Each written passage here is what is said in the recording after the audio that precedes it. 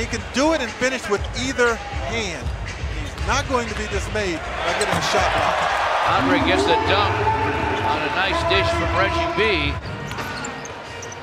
Reggie Jackson cross courts to Langston Galloway, four on the clock. Langston behind the back, then the shot sticks it. Reggie Jackson misses the three.